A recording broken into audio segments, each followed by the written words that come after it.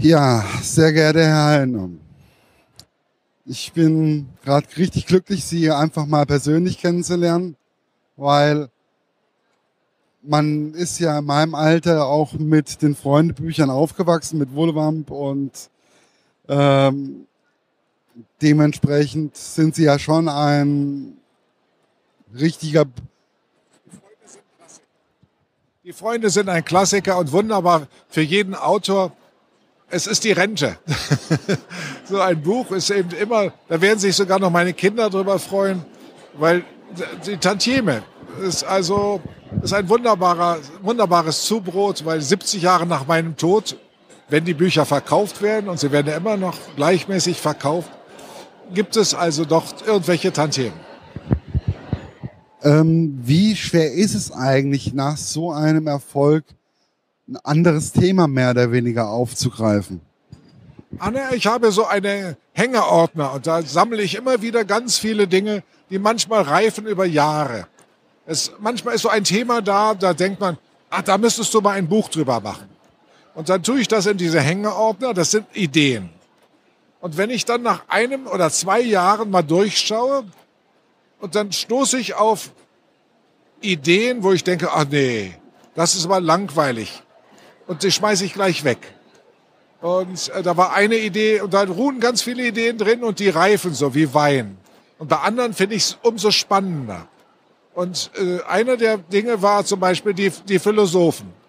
Mich hat immer Philosophisches interessiert und alle meine Kinderbücher haben ja auch einen philosophischen Hintergrund. Und da habe ich mir überlegt, Mensch, du könntest auch mal, also ich hatte ganz viel gesammelt über die Jahre.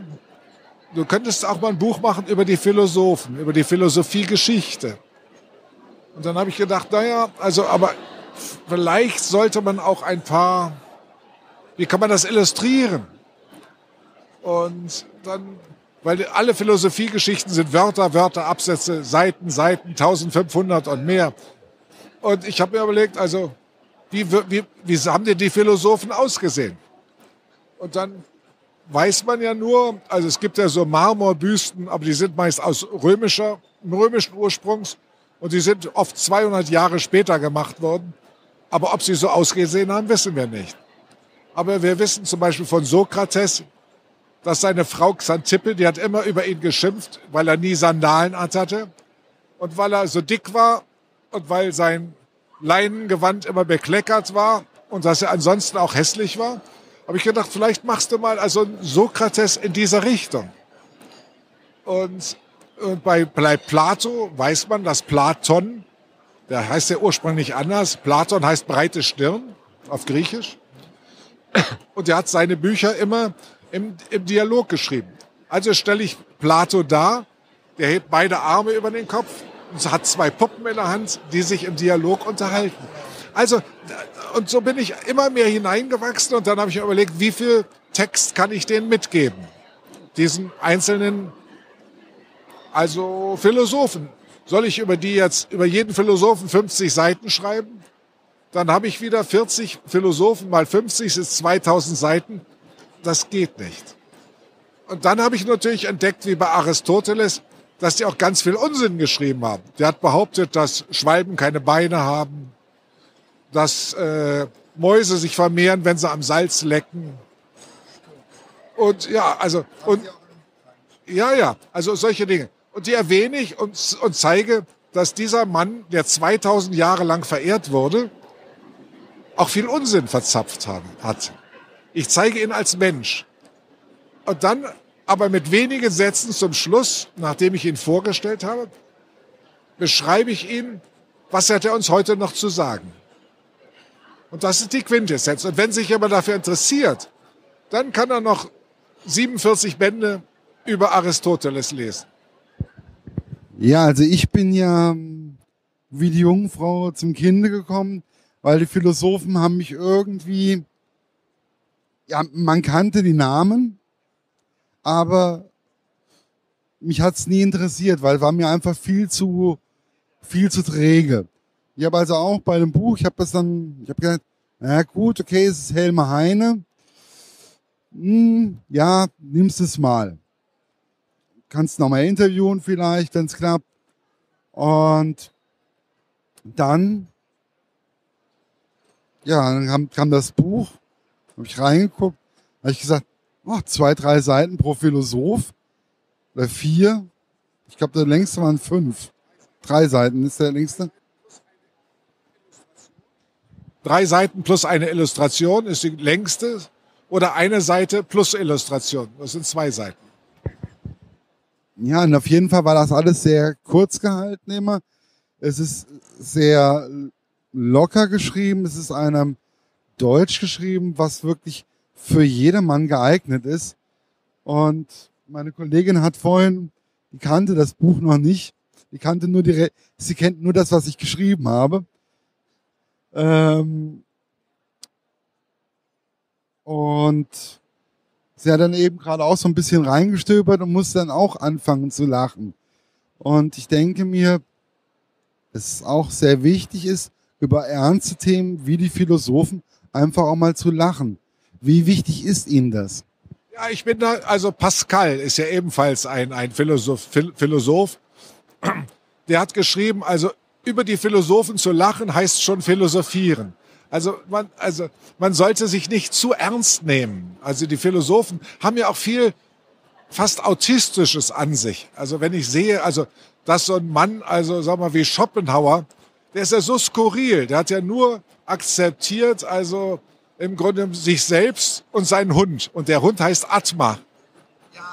Und das ist eine Weltenseele. Und wenn Atma nicht gehorcht hat, dann hat er ihn gerufen Mensch. Das zeigt doch im Grunde, was das für ein skurriler Mensch war. Dieses also und und dann, dann verliert man auch die Angst vor diesem vor diesem Philosophen. Oder wenn ich an Heidegger denke, der ist einer der kompliziertesten äh, Philosophen, der erst in 1970, glaube ich, gestorben ist. Über den hat Karl Friedrich von Weizsäcker, der, der Physiker, hat ihn gelesen, als er ihn entdeckt hat, hat gesagt, das ist Philosophie. Und dann im zweiten Satz hat er gesagt, ich verstehe kein Wort, aber so ist Philosophie. Auch sehr interessant. Also, wobei ich das auch sehr lustig fand, Karl Marx hatten sie ja auch, er äh, ist ja auch ein Philosoph. Ich hatte ihn gar nicht als Philosophen eigentlich so im Kopf. Ich habe immer, äh, weil ich hatte nie gedacht, dass es Kapital, Kapital war es ja, äh, ein philosophisches Buch sein könnte. Aber sie sagten, es steht bei vielen rum, aber keiner liest es, die drei Bände. Und haben Sie sich eigentlich, wo Sie dieses Buch geschrieben haben, mit den Philosophen nochmal explizit auseinandergesetzt oder ähm, war das, weil sowieso sie sich die ganze Zeit dafür interessiert haben? Nein, ich habe schon immer also mich für die Philosophie interessiert in den letzten 30 Jahren. Ich bin darauf gekommen auf dieses Thema, weil meine Tochter kam nach Hause, das ist also über 30 Jahre her, und sagte, wir haben ein neues Fach in der Schule. Ich sag, was habt ihr denn? Ja, wir haben Physiologie. Ach, ich sag Physiologie und hab gelacht. Also sie hatte gar nicht das begriffen. Und da sagt sie, erklär mir doch mal, was ist denn Philosophie? Hm? Und da bin ich schon ins Stottern geraten. Und das ist so. Und deshalb habe ich dann angefangen, immer mehr über Philosophie zu lesen. Und wann immer ich was Interessantes in den philosophischen Werken entdeckt habe, habe ich die in meinen Hängeordner getan. Und das wurde immer dicker. Und habe dann auch davon meiner Frau erzählt. Und das, bei manchen hat sie gesagt, du, das verstehe ich nicht, das ist so kompliziert. Dann habe ich doch mal nachgelesen, um das auch verständlich darzustellen. Und so bin ich immer tiefer in die Philosophie hineingerutscht, bis ich dann vor im vorletzten Jahr habe ich gesagt, ich machte ein Buch drüber, über die abendländische Philosophie, vom Anfang bis zum Ende. Und dann habe ich schon mich gefragt, wer ist denn der erste Philosoph? Ist das Adam? und Eva? Nein, das war Thales. Thales. Er war der erste Mensch, der sich gefragt hat, warum? Warum müssen wir sterben? Warum leben wir? Die Warum-Frage. Das ist eine ganz wichtige Frage in der Philosophie. Und sein Schüler danach hat dann gesagt, man muss sterben, um Platz zu machen fürs Schöpferische. Das war die Antwort. Und deshalb ist Thales eben der erste Philosoph in der Philosophiegeschichte. Das Seltsame ist nur, dass die gesamte Welt im 6. Jahrhundert vor Christus alle Philosophie entdeckt haben. In Japan war es Laozi, in China war es Konfuzius, In Indien war es Buddha, in Persien war es Zarathustra und in Griechenland also Thales. Da fragt man sich, woher wussten die das? Die konnten sich ja keine E-Mails schreiben. Es ist so, als wenn die Menschheit plötzlich, das ist so, als wenn man, als wenn alle plötzlich in die Pubertät kommen. Und dann fragt man sich plötzlich, ja, alle stellen sich die gleiche Frage. Und das fand ich, also das ist ein großes Geheimnis. Und das fand ich einfach spannend. Und deshalb habe ich immer mehr, bin ich immer tiefer in die Philosophie hineingegangen, aber wollte ein Buch machen, das jedermann versteht und unterhält. Das ist auf jeden Fall gelungen. Warum, also was mir aufgefallen ist, die katholische, die katholische Zeit, da die, der, der Mittelteil, der ist sehr kurz gehalten. Da gab es da nicht viele äh, Philosophen, hat die katholische Kirche die kurz gehalten. Wie, warum?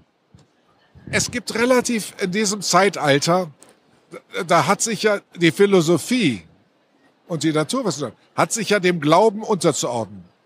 Also der Glaube ist wichtiger als alles Wissen. Und die Philosophie muss eben auch also naturwissenschaftlich auf der Seite gebildet sein.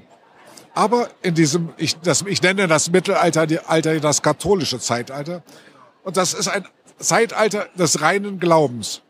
Und ja, und wer glaubt, der darf im Grunde genommen nicht denken. Aber da hat es eben immer wieder mal zwischendurch, zumindest wurde das behauptet, hat es immer wieder dann Philosophen gegeben, die dann gesagt haben, wenn uns Gott ein Verstand geschenkt hat und ein Glauben, das muss doch unter einen Hut zu bringen sein. Aber da gab es natürlich viele kleine Einzelnebenläufer, aber ich wollte mich nur auf die wichtigsten beschränken. Und das waren für mich die interessantesten. Ja, das ist dann ganz anders da wie das, was mir mein liebster Pfarrer, habe ich auch einen, beigebracht hat. Er hat immer gesagt zu mir, denk über die Sachen nach, hinterfrage den Glauben, hinterfrage alles und bilde dich immer weiter. Ein Zitat mehr oder weniger von Wilhelm Schulte. Ja, war der klar. Ähm, das ist aber, aber dein Pfarrer oder ihr Pfarrer ist natürlich ein Kind des 20. Jahrhunderts. Nicht? Der durfte natürlich, der hatte auch all die anderen modernen Philosophen gelesen. Der darf das auch äußern. Im Mittelalter hätte man unter Umständen, wäre man dafür also hätte, äh, Ketzerei hätte man auf sich gezogen. Ne? Ja, aber so ändern sich die Zeiten. Ich fand, welcher Philosoph hat Sie eigentlich mit am meisten geprägt? Also ich mag sehr den Demokrit. Demokrit ist relativ ein unbekannter Mann und er gilt ja als der lachende Philosoph, der also ja sagt, die, die Menschen wollen alle gerne uralt werden, aber wenn sie alt werden, dann beklagen sich darüber, dass ihnen die Knochen wehtun und Und er sagt, wir Menschen wollen also die ganze Welt besitzen, aber wir können nichts mitnehmen ins Grab. Also ein sehr menschlicher Philosoph, der sehr weit, weit gereist ist und der 104 Jahre alt wurde und relativ also gesund war. Der also, ja, also ich finde ihn ein sehr menschlicher Philosoph, der vor über 2000 Jahren gelebt hat, aber der uns heute noch sehr viel zu sagen hat. Auch ganz modern, der sagt, wir beuten die, die Erde aus, um nach Gold und Silber zu suchen und zerstören dabei die Erde. Das ist ein ganz unheimlich modernes äh, Thema in der heutigen Zeit. Also Demokrit schätze ich sehr, obwohl ganz wenig von ihm überliefert ist. Das finde ich, was mich sowieso sehr überrascht hat. Ich habe mir dann auch mal so zwischendurch so die Jahreszahlen angesehen von den verschiedenen Philosophen. Viele der Philosophen sind sehr alt geworden. Also wie, jetzt, wie Sie jetzt auch sagen, Demokrit Demokris ist ja auch ein Thema in dem Buch drin. Ist relativ kleines, fand ich. Ein relativ kleines, der Demokris. Der ein relativ kleines Werk hinterlassen. Äh, man sagt also, das, gesamte Werk von Plato, da sind ja nun, also weiß nicht wie viel tausend Seiten beschrieben worden. Das ist eine Antwort auf Demokrit, weil der konnte Demokrit nicht leiden und hätte am liebsten alle Bücher von Demokrit vernichtet. Und man also wenn man Plato liest, dann indirekt entdeckt man das Gegenteil von dem entdeckt man, muss Demokrit geschrieben haben. Aber Demokrit hat sich trotz allem gehalten. Und äh, die, selbst die Römer äh, schreiben mir nach über ihn, wenn ich das vielleicht mal vorlesen darf. Einen Moment. Jetzt muss ich mal gerade nachgucken, wo ist er denn?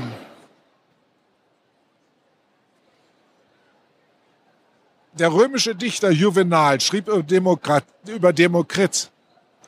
Er verlachte die Sorgen sowie die Freuden des Volkes, bisweilen auch dessen Tränen, während er selbst der drohenden Fortuna, also der hm, den Strick empfahl und ihr den mittleren Finger zeigt.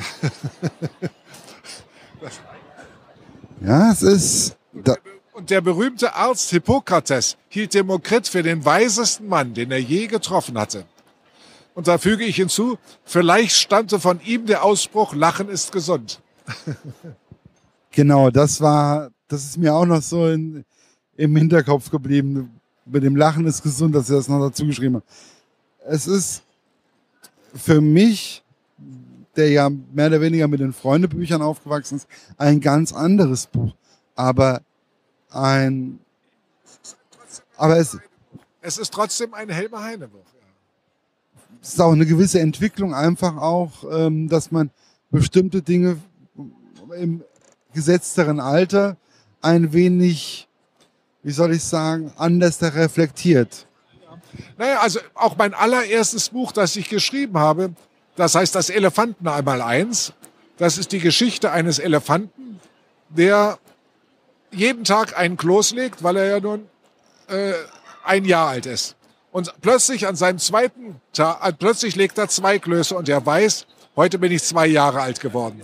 Und der 50 Jahre lang jeden Tag einen Kloß mehr legt. Also als er 50 ist, 50 Klöße. Und plötzlich an seinem 51. Geburtstag legt er nur noch 49 Klöße. Und da ist er ganz überrascht und zählt nach.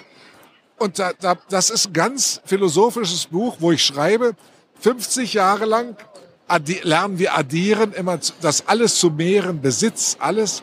Und jetzt 50 Jahre lernen wir also das Abziehen, Subtrahieren, um hinterher zu begreifen, die Zahl Null, den Tod. Ich glaube, davon habe ich irgendwo gelesen. Ich glaube, es war mal bei einem Interview von der Zeit oder so. Da war, hatten sie dieses Buch auch als Zitat mehr oder weniger erwähnt. Also ich glaube, das war die Zeit. Das Buch, das gibt es heute noch. Es war, war mein allererstes Buch und also so, hat viele Preise gewonnen, die Premio Grafico in, in Mailand und, äh, und, und unter den besten Büchern, best, besten Büchern, zehn, zehn besten Büchern äh, hat die New York Times das gewählt. Und das war ein ganz kleines Buch. Das ist durch Zufall ein Kinderbuch geworden. An sich wollte das Surkamp im Inselbuch rausbringen. Aber die Frau Mittelhaufe hat gesagt, dat, dat auf in Kölsch, das Buch hier fällt mir. Also bleib mal hier bei mir, sag den ab und ich gebe dir 10.000 Mark. und das war für mich, ich musste zurück nach Afrika, das war für mich eine Menge Geld. Und so bin ich im Grunde zum auch zum Kinderbuchautor geworden. Wir hatten ja jetzt, ich habe ja eben gerade schon ein bisschen zugehört, ich hatte das mit Tabaluga gut ähm, nicht so ganz auf dem Schirm, dass auch Sie dort gezeichnet haben. Wie kam es denn dazu? Na, das hat mir Maffei mal erzählt. Maffei ist also nach, er wollte eine Erzählerin haben für den amerikanischen Markt.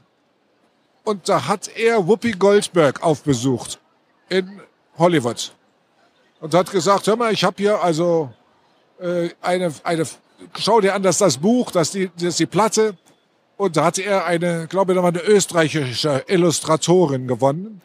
Und guck mal, so soll der Drachen aussehen und für den amerikanischen Markt, das wäre schön, wenn Sie dann doch also die Erzählerin sind. Und singen tue ich dann. Hm? Und da hat sie über den Kopf gewackelt, erzählte mir Maffei. Und hat gesagt, ja, die, die, die, also die Illustration, das gefällt mir nicht. Und da hat Maffei gesagt, ja, was gefällt Ihnen denn? Und da sagt er, der ist jetzt zu ihrem Bücherbot gegangen und hat rausgeholt, The Friends, die Freunde. Und da hat sie gesagt, den kenne ich. Da hat sie gesagt, ja, warum nehmen Sie den denn nicht? Also ich bin über Whoopi Goldberg, über die Freunde zu, zu Maffei. Also daran sieht man, also wie weit meine Bücher verbreitet sind und angekommen sind. Ja, also ich hatte das nicht so ganz auf dem Schirm gehabt, weil, wobei meine Mutter ein absoluter Tabaluga-Fan und Peter Maffer-Fan war. Dementsprechend bin ich auch leicht geprägt in der Richtung. Finde ich auch eine sehr schöne Geschichte. die ja auch immer weiter geht und immer erfolgreicher wird, finde ich. Ähm, aber dass, dass Sie das gezeichnet haben, Entschuldigung, also da. Ich, ich habe mich auch immer zurückgehalten. Das ist ja, äh, Maffa ist Tabaluga. Da gibt's gar nichts und das, das gehört ihm auch. Aber ich will eben meinen Anteil haben, weil ich entwickle ja die Ideen. Ich habe ja auch den Arktos erst entwickelt und Lilly und diese Figuren und all das. Ja, sind ja alles meine Figuren, nicht? Und insofern, also muss ich auch, wenn er jetzt ins Merchandising geht oder wenn er jetzt äh, ein Film soll ja auch entstehen. Und ja, der soll also rauskommen, neun, äh, heute ist 15, 16, 17 soll der rauskommen, der Film, Kinofilm. Und dann muss ich natürlich mit der Regie, mit dem Regisseur und so weiter, müssen wir an den Figuren arbeiten, um sie für einen Film zuzubereiten. Und das sind meine Figuren. Aber ich hab, bin nie groß aufgetreten. Ich, ich lasse da Buffy den Vortritt.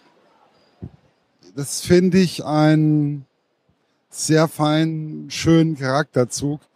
Ähm, Man muss nicht auf allen Hochzeiten tanzen. Also das ist etwas, ähm, ich mich mich als Person kennt ja kaum jemand. Das finde ich auch gut. Äh, also den Namen Helm Heine kennt man und meine Bücher. Das ist viel besser, als wenn man sagt, oh, den kenne ich. Der läuft immer mit einem Zylinder rum und hat eine grüne Brille auf. Und dann sagt man, was hat er gemacht? Ja, was hat er gemacht? Aber ich habe den schon ein paar Mal gesehen. Also der war in der Bunten und also im Stern hat er auch irgendwas. Und ich persönlich möchte auch relativ unbekannt bleiben, mein Äußeres, weil ich möchte gerne, die, dass die Menschen mir unvoreingenommen begegnen. Sonst weiß ich immer nie, sind die nett zu mir, weil ich ein Promi bin, sagen wir mal, oder, oder mögen die mich so, wie ich bin. Und das, also, das ist mein Prinzip. Das ist ein Prinzip. Also ich habe jetzt auch alleine auf dieser Buchmesse, ich habe Inni Lorenz interviewt, ich habe Wolfgang Holbein alle Autoren oder viele Autoren sind einfach irgendwo locker geblieben und freuen sich einfach, dass ihre Bücher gelesen werden. Ähm, und es geht denen immer nur um die Bücher, ähm, um ihr Werk, aber eher weniger um die Person. Und das ist das, was mir unwahrscheinlich sympathisch an den Autoren ist. Ich bin eigentlich, auch wenn man das jetzt vielleicht nicht so meint, lieber im Hintergrund und eher ganz ruhig und. Ich muss natürlich hier auf der Messe äh, jetzt Rede und Antwort stehen und auch um das Buch voranzubringen und sowas, was ich auch gemacht habe, jetzt auf dem blauen Sofa bei der ARD und also und, und bei Servus TV und solche Dinge. Das schon. Aber ich freue mich auch immer, wenn ich mich dann jetzt zurückziehen kann. Mittwoch fliege ich wieder nach Neuseeland zurück. Das interessiert keinen Menschen, was ich da mache. Ob ich, ob ich ein netter Kerl bin, das ob ich fischen kann, ob ich ihnen helfen kann, wenn ihr Segelboot also kaputt geht. Das ist für die Menschen da viel wichtiger, als dass ich also ein paar Bücher geschrieben habe. Und das ist schön, da behält man Bodenhaftung. Eine sehr wichtige, etwas sehr Wichtiges. Ich glaube, Moment, ja, die Zeit ist schon wieder langsam rum. Ich bedanke mich für das sehr schöne Gespräch und ich habe es sehr genossen. Ähm, hat mir wieder gezeigt, ich muss nicht aufgeregt sein, auch bei großen Namen nicht. Und ich bedanke mich von ganzem Herzen.